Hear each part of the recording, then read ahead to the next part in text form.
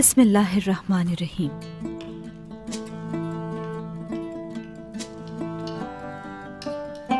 आसमा कासिम साहब की बेटी है उस्मान साहब।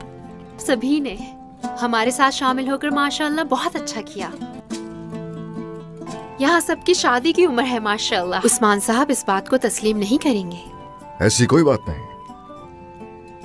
जैसे ही वक्त आ जाए तो हम उसे बिल्कुल भी जाया नहीं करेंगे। बिल्कुल ऐसा ही है। गुंजा खातून की शादी नहीं होगी। देखो जरा। यहाँ बैठो तुम। चलो बोलो मेरे शेर बोलो। हम तुम्हारे साथ हैं। शर्मिंदा कर दिया मुझे। मैंने जो कहना था वो कह दिया। तुम इस छोटे बच्चे का हौसला देख रहे हो। इसे बड़ा होने दो तुम। तुम्हारे सामने गुंजा खातून से शादी करेगा। क्या ये इतना ही आसान है? मुझे समझाने के बजाय पहले अपनी नज़र उधर तो दौड़ो। अपने हाथ के इलाज